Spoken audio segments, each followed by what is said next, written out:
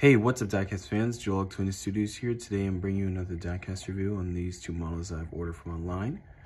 First up we have here is the Citroen C4WRC rally car. As you can see, it has like the Red Bull design rally on it. So like the sponsor and like it's a really good rally car.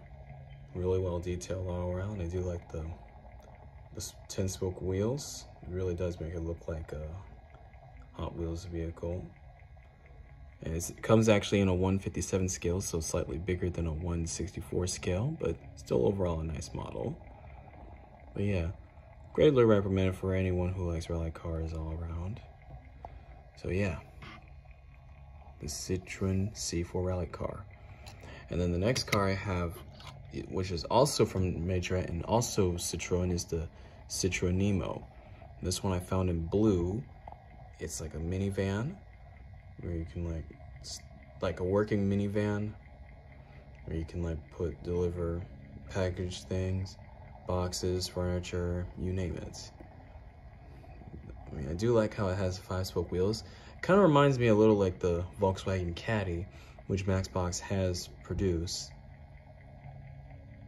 Yeah, it's really nice to look at. Very detailed well, not fully detailed, but still pretty good all around. Yeah. So yeah, and there you have it. Both the Citroen C4 rally car and the Citroen Nemo. Both models I was able to acquire from online. So if you like this video, or if you like these models, be sure to like, as well as comment, subscribe. Tell me what you think of these models down below. And until then, I'll see you guys another time for another diecast review. Until then, I'm Joel Auguste Studios. Peace be with you.